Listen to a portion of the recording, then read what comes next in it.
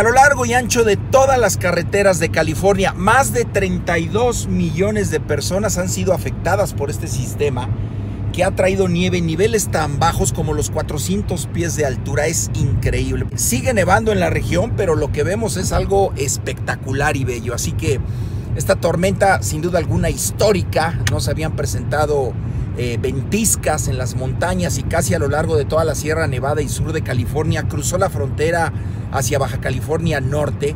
Insisto, viene desde lo que es el Ártico, Canadá, pasó por el norte de los Estados Unidos en la costa oeste y se fue hasta México. Así que increíble, bello.